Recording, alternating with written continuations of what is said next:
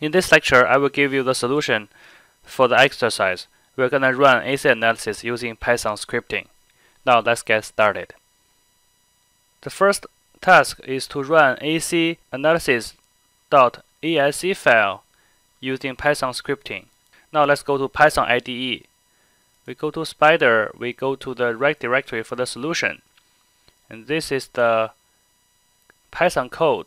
We run this cell first. And uh, next, we're going to use Python to run this ASC file.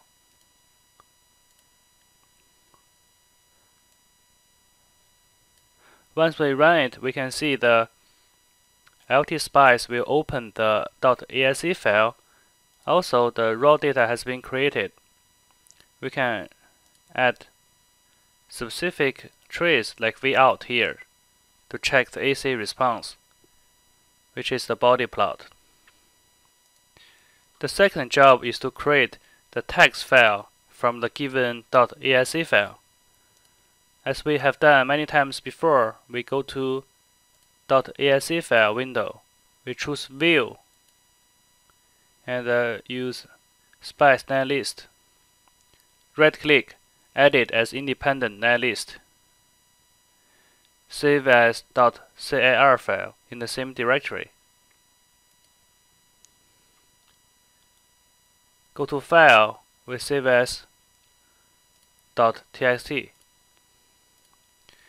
Now the second job is finished.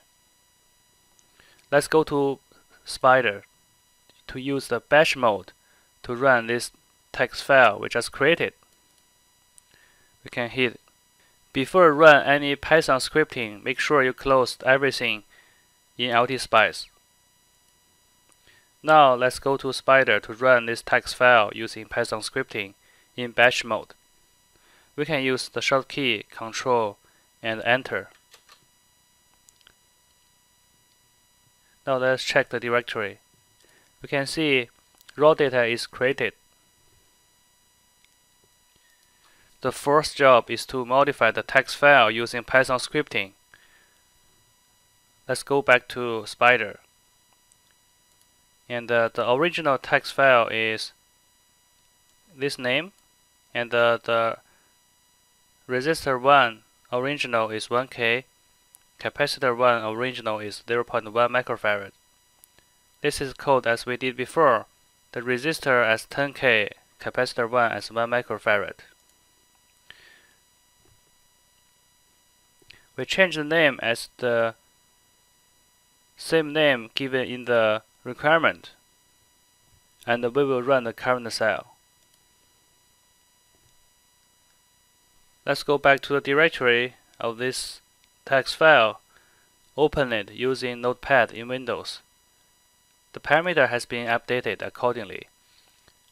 And uh, we know this is the AC analysis, uh, 20 points per decade, frequency from 1 Hz to 100 kHz. Make sure we close this window.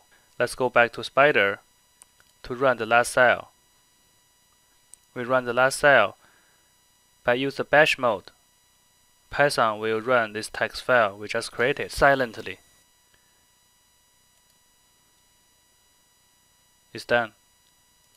Go back to the same directory. We can see the raw data has been created.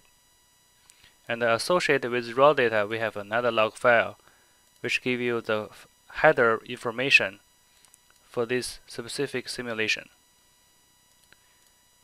The sixth task is to open the newly generated raw file in LTSpice and draw the Bode plot of vout.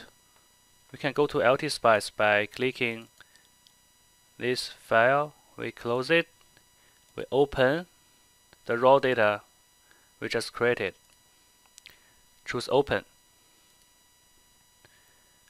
Right click, Add Trace, vout. So now this is the Bode plot of Vout given new parameters.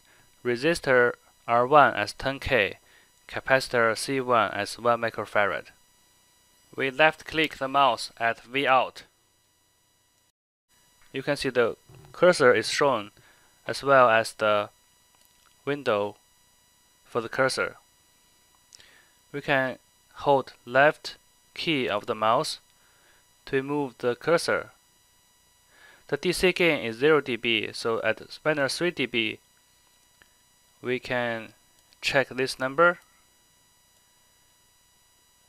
So we gradually move the cursor and stop around minus 3 dB. At this frequency, at magnitude equals to minus 3 dB, the frequency is around 16 Hz, and the phase is about minus 45 degree. This is correct results. The final task is to export the raw data into text data in the format of Cartesian coordinate with real part and the imaginary part.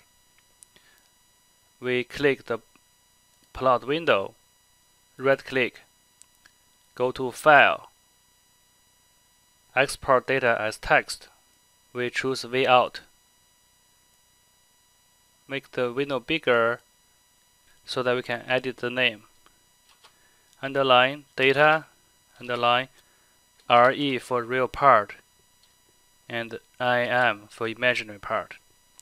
We change the format to Cartesian as required and we hit OK. Now let's go back to the directory. We can see the data is newly created. We open it in Windows Notepad. There are three columns in this data. First column is frequency from 1 Hz to 100 kHz. Second column is the real part for Vout. Last column is the imaginary part for Vout. That's all for this solution. Thank you very much.